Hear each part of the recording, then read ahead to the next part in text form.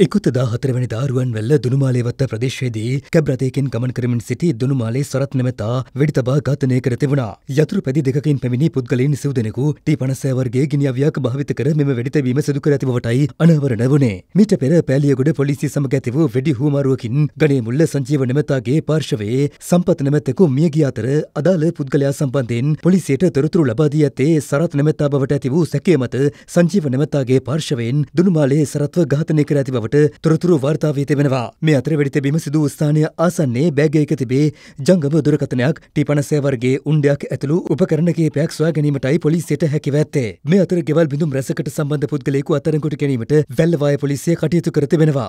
වැල්ලවාය ගල්කුරිය ප්‍රදේශයේ පදිංචි 29 හැවිරිදි අදාළ සැකකරු සන්තකයේ තිබී සොරකම් කළ බව කියන රුපියල් ලක්ෂ 3ක රන් භාණ්ඩ සොයා ගැනීමටයි පොලිසියට හැකිව ඇත්තේ. අදාළ පුද්ගලයා මද්‍රව්‍යවලට ඇබ්බැහි වූවෙකු බවට තොරතුරු ලැබී තිබෙනවා. මේ අතර බගවන්තලාව නගරයේ නතර කර තිබූ බස් රථවල බැටරි සොරකම් කිරීමේ ජාවාරමක් පිළිබඳ විමර්ශන ආරම්භ කර තිබෙනවා. අප වාර්තාකරු සඳහන් කළේ රාත්‍රී කාලයේ එලෙස අදාළ සොරකම් සිදු වන බවයි. බලපත්‍ර නොමැතිව කෙසල්ගම රක්ෂිතේ මැණික්ගර්මින් සිටි පුද්ගලයන් සෙව් දෙනෙකු අත්අඩංගුවට ගැනීමට බගවන්තලාව පොලිසිය කටයුතු කර තිබුණා. අදාළ සැකකරුවන් කලකපටන් එම ජාවාරමේ නිරතව ඇති බවටයි තොරතුරු ලැබී ඇත්තේ. මේ අතර ගංජා ජාවාරමේ නිරත වූ බව කියන පොලිස් කොස්තාපල්වරයෙකු සහ සිවිල් ආරක්ෂක භටයෙකු පොලිස් විශේෂ කාර්ය බලකායේ නිලධාරීන් විසින් අත්අඩංගුවට ගෙන තිබුණේ අම්පාර දඩයම්තලාව ප්‍රදේශයේදී. ඔවුන් සන්තකයේ ගංජා ග්‍රෑම් 650ක් තිබී ඇති අතර ඒවා යතුරුපැදියකින් ප්‍රවාහනය කරමින් සිටින අතරතුරයි විශේෂ කාර්ය බලකා අත්අඩංගුවට පත්ව ඇත්තේ.